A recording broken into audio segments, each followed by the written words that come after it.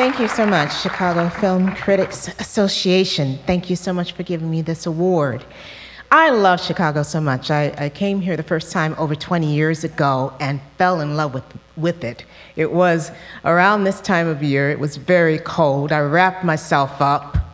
I stepped out and I felt this chill to the bone, marrow. And I've been coming ever since. It is my artistic home. It is a place that feeds my soul. It gives me inspiration, and certainly Oscar Micheaux gives me inspiration in terms of writing, creating pieces that speak to our stories, specifically our stories, that speak about human beings, how we all have the same wants, desires,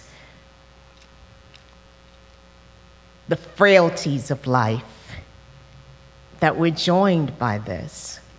And certainly it was my mother who gave me the gift of creativity, how to use that, harness that, to use it as a survival tool, to dream.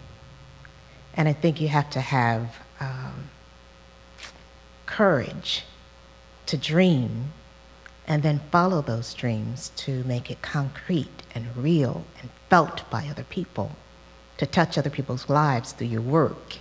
I love doing that. It gives me so much satisfaction. And then to have this embrace of something that I simply love to do is really wonderful. I thank you so much.